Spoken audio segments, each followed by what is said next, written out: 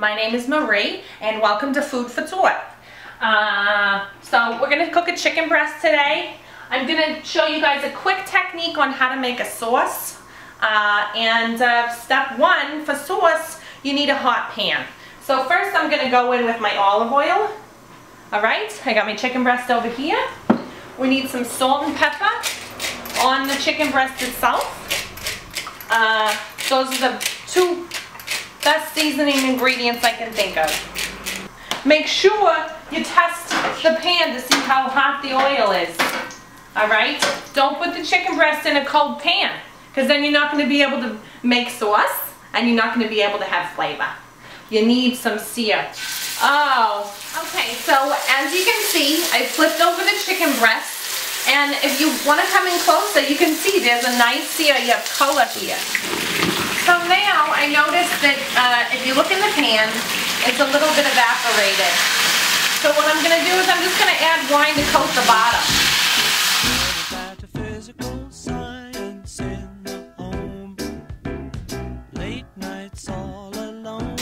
So as you can see, our chicken breast is ready to go. It's ready to come out of the pan.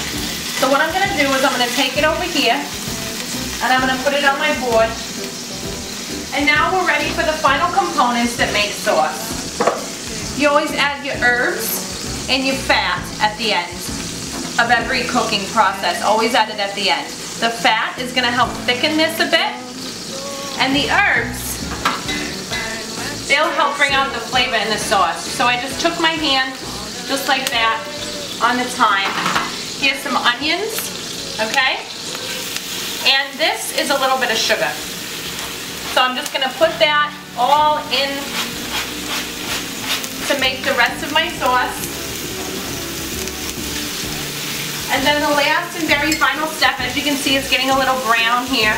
So I'm gonna coat the pan in wine one more time. I'm gonna reduce this down, just like so. And by the time it's done reduced, you'll have sauce. Okay, so here we are on the plate. You notice my chicken came out just so moist because I kept it glazing that whole time. And now we have a, a beautiful sauce for this chicken. And all we used was salt, pepper, thyme, and white wine, and a little bit of sugar and butter. And that's it. No complicated recipe, just a little bit of seasoning. So tune in next time for Food for Tour. I'm Marie.